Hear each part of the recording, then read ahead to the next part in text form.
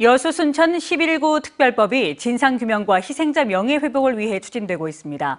지난 10월 진상규명 조사 기간이 만료되면서 수천 건의 피해 신고가 미완성으로 종결될 처지에 놓였는데 다행히 조사 기간 연장 등을 담은 특별법 개정안이 국회 첫 문턱을 넘었습니다.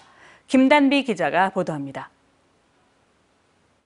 22대 국회가 개원한 뒤 발의된 여순 사건 특별법 개정안은 모두 4건입니다.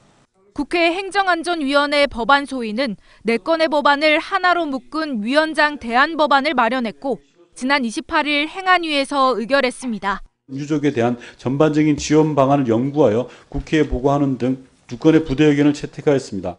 이번 개정안의 핵심은 여순 사건 법정 조사 기간을 연장한 데 있습니다.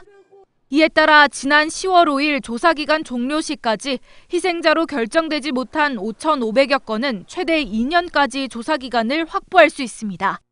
또 눈여겨볼 점은 위원회 구성 시 국회가 추천하는 4명을 추가하도록 한 것과 군사재판을 받고 형무소에 수용 중에 한국전쟁이 발발하면서 처형된 사례처럼 유죄를 받은 경우 특별재심을 청구할 수 있도록 한 부분입니다.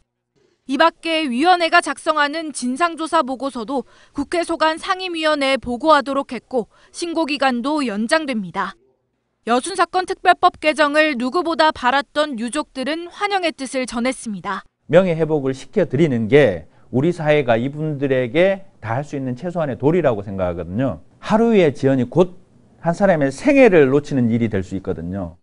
행안위를 통과한 여순사건 특별법 개정안은 법제사법위원회를 거쳐 본회의에 상정될 예정입니다. MBC 뉴스 김단비입니다. 언제 어디서나 내 손 안의 뉴스 광주 MBC 뉴스 유튜브 구독으로 함께하세요. 함께하세요.